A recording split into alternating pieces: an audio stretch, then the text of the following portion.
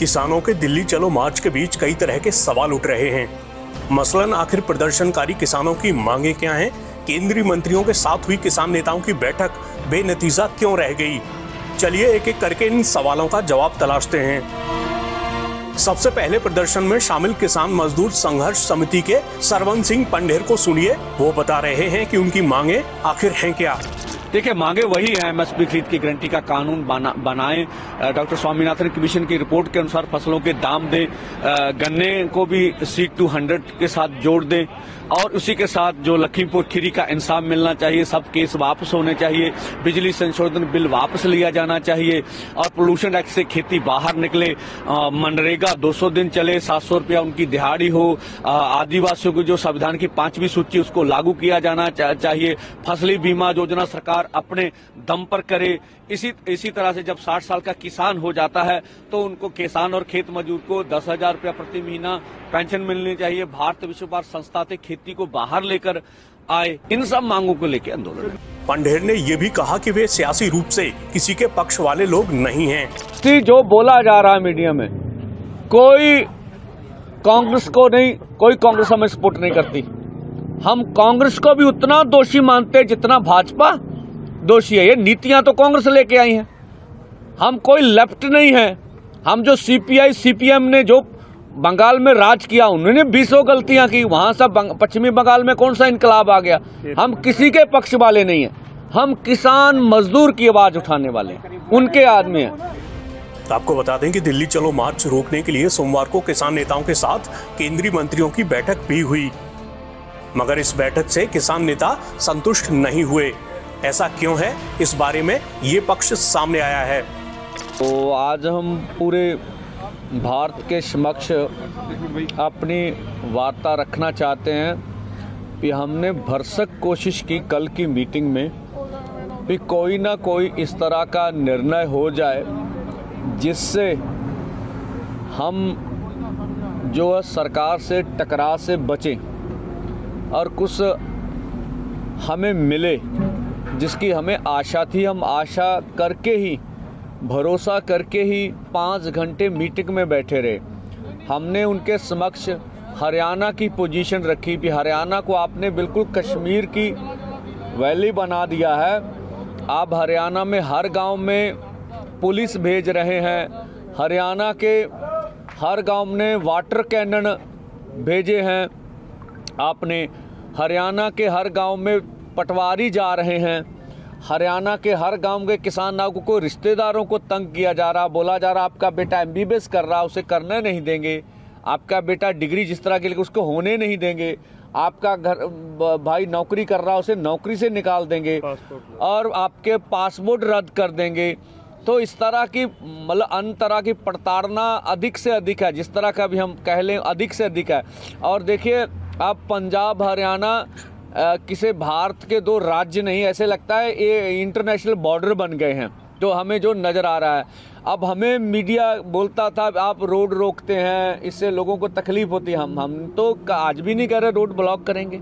आज भी नहीं कह रहे हैं कि हम कहें रोड रोकेंगे। अब तो सरकार ने स्वयं रोड रोक रखी है पिछले दो तीन दिन से। और जो वो दिखा रहे हैं कंक्रीट की दस दस फुट ऊँची लंबी जो दीवार बनाई गई है रोड्स में, मुझे बता हम तो इसको देश के लिए अन्न उगाते हैं, उसको देश का पेट भरते हैं। और इन्होंने हमारे लिए जो है किलों की जो फ़सल है, वो हमारे लिए उगा रखी है हमारे सामने। हमने तो मंत्री महोदय से कहा, आपने महाराष्ट्र में जुल्म किया। आप मध्य प्रदेश में 300 लोगों को डिटेन कर लिए। आप ये बेंगलोर से आ रहे थे, ये हमारे लोग। उनकी एक और थी आगू उसको बालों से जैसे खींचा गया, उसके सर पर चोट लगी। हम फिर आपसे वार्ता करने गए। आपने उड़ीसा में सौ किसान आ रहे से टिकटें ली हुई थी, उनको रेस्ट कर लिया। आप इतना कुछ कर रहे हैं, फिर भी हम आपसे वार्ता करने पहुँचे। क्यों पहुँचे? कि हम चाहते से मिल बैठ के इस मसले का कोई ना कोई हल हो जाए। पर हमें ना तो ये लगा हम मंत्री महोदय पीयूष गोयल जी ऊपर कहे मैं बात करूँगा। पर कुछ लगा नहीं उसके बाद कुछ हुआ। देखिए वहाँ मीटिंग में बैठे बैठे हमारे ट्विटर हैंडल बंद। हो गए। हम वार्ता कर रहे हैं फिर भी हमारे ट्विटर हैंडल। फिर भी हमने कहा हम हम दरवाज़ा बातचीत का खुला रखेंगे। हम आज भी कहते हैं सरकार कोई भी अनाउंसमेंट कर सकती है।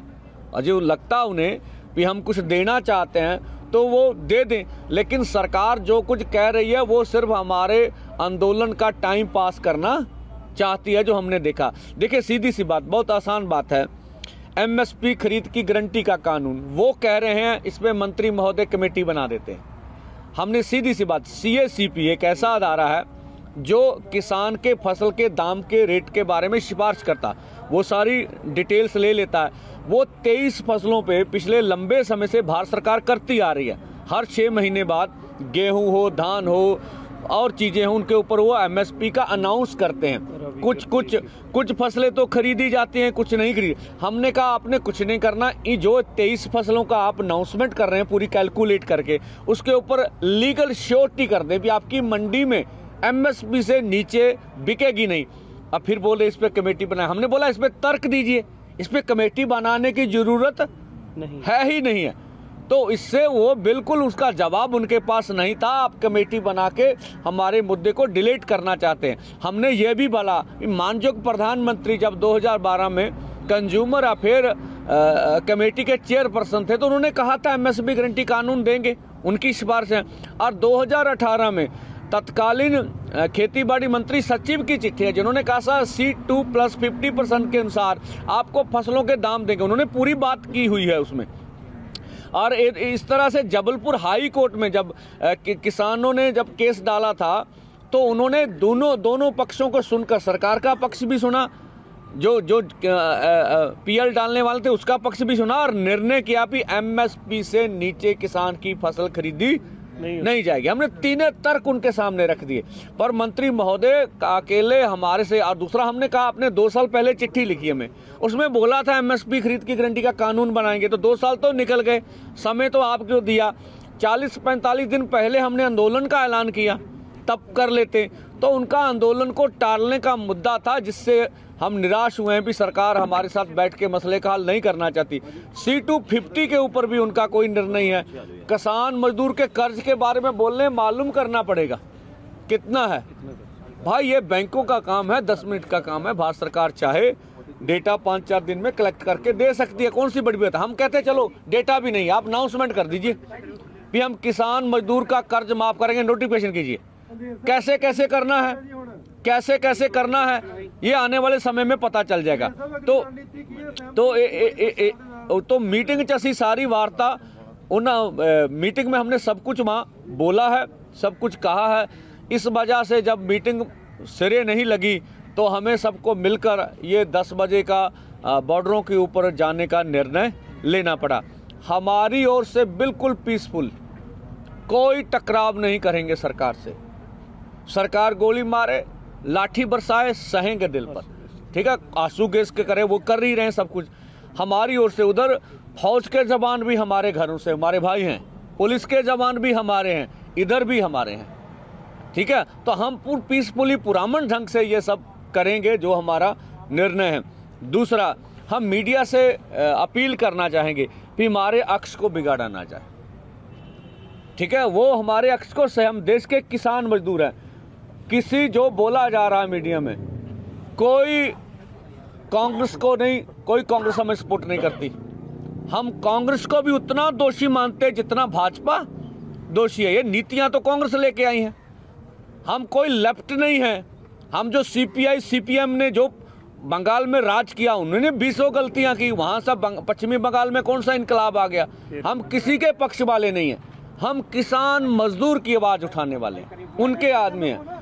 तो आ, बाकी हम फिर अपने आ, लोगों से अपील करेंगे चाहे पंजाब और देश के गायक हैं बुद्धिजीवी हैं एनआरआई भाई हैं चाहे और सिविल सोसाइटी है सभी सिविल सोसाइटी उसमें पत्रकार भाईचारा भी आता है वो ज़रूर इस बड़े आंदोलन में ये हमारा सवाल नहीं हम हम नहीं कहते 140 करोड़ देशवासियों की मांग है उसमें से 60 करोड़ से अधिक किसान हैं जिस देश में खेत मजदूर अलग हैं तो 70 पचहत्तर परसेंट आबादी की मांग है।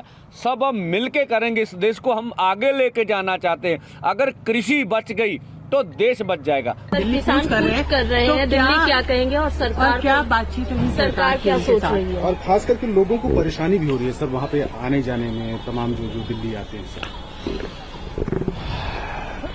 देखिए मैं चंडीगढ़ जाके दो बार किसान संगठनों के साथ बातचीत किया। और किसान संगठनों को बातचीत करते हुए मैंने ये बात बताई कि जितनी मांगे संबंधित भारत सरकार से जो विषय हो सकता है वो हम कर रहे हैं और उनको बता भी दिया है। लेकिन कुछ चीज़ों में हमें कंसल्टेशन करने की ज़रूरत पड़ेगी, क्योंकि राज्यों के साथ मिलकर के हमें इस बात पर आगे चर्चा करनी पड़ेगी। इसके लिए हमें ये सुनिश्चित करना चाहिए कि इसका रास्ता क्या क्या होगा। और उसके लिए, यदि हम कोई एक फोरम ऐसा बनाए जिसमें हम लगातार चर्चा करते रहे और इसका समाधान निकालें। ये बात किसानों को समझने की ज़रूरत है कि किसी किसानों के हितों की रक्षा हो। भारत सरकार प्रतिबद्ध है और उसके साथ साथ जन सामान्य को कोई कठिनाई ना हो। दोनों ही बातों को जो संगठन है, किसान संगठन, उनको समझना पड़ेगा।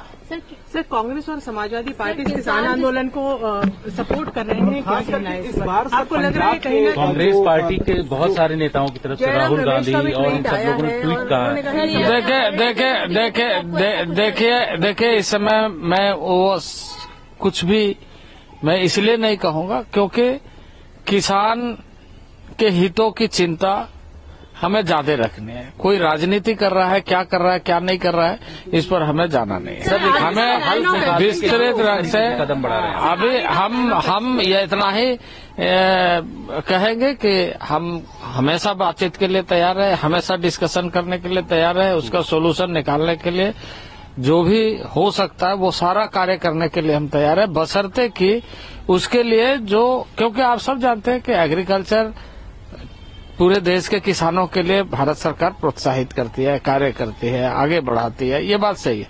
लेकिन विषय राज्य सरकारों का भी है जहाँ हमें कंसल्टेशन की ज़रूरत पड़ेगी। तो स्वाभाविक रूप से एक रास्ता तो अपनाना पड़ेगा एक मेथड तो अपनाना पड़ेगा। जो भी जो भी विषय होती है उन सारे विषयों के लिए किस तरीके से कैसे क्या ये विषय को समझने का तो समय चाहिए। और मैं ये कह रहा हूँ कि आप उस पर बातचीत करिए। हम उसके लिए तैयार है। कल भी उसके पहले भी दो बार हमारी बैठक हो चुकी है और हमने पूरे सकारात्मक तरीके से चीज़ों को लिया। कह रहे कि जो प्रस्ताव है वो अप टू द मार्क नहीं है। सरकार का यही वजह है कि वो दिल्ली को देखिए उन लोगों ने उन लोगों ने जैसे ही उन लोगों ने जैसे ही हमें सूचना दे हम स्वयं चले गए बातचीत करने के लिए। सरकार की क्या हम हम बातचीत करते हुए उसका समाधान नहीं तो हम चंडीगढ़ क्यों जाते हैं? चंडीगढ़ में लोगों ने कहा मैंने कहा मैं हम स्वयं आ जाएँगे। हम गए पीयूष गोयल जी गए है ना नित्यानंद राय जी गए और हमारे पदाधिकारी गए। तो हम चाहते हैं कि बातचीत के माध्यम से इन सारे चीज़ों को सुलझाया जाए। उधर दिल्ली में किसानों के प्रवेश को रोकने के लिए सीमाओं पर सभी संभव प्रयास किए गए हैं। देखिए, ये जो जो फार्मर्स कॉल है दिल्ली चलो की, इसके चलते हमने कड़े सुरक्षा इंतज़ाम किए हैं। We have led a very robust effective और स्ट्रॉन्ग अरेंजमेंट एम हमारा यही है कि जो फार्मर्स हैं, इनको पीसफुल तरीके से नेगोशिएट करते हुए, इनको लीगली हम रोके। और जो आम जन है, जो आप देख रहे हैं ट्रैफ़िक प्रॉपर जा रही है, इनको कम से कम असुविधा हो। इसी के चलते हमने बहुत पुलिस फोर्स भी लगाई है, टेक्नोलॉजी का भी यूज़ कर रहे हैं, और जो है, इंटेलिजेंस भी माउंट की हुई है। सबके चलते हमारा यही एम है कि शांति व्यवस्था कायम रहे।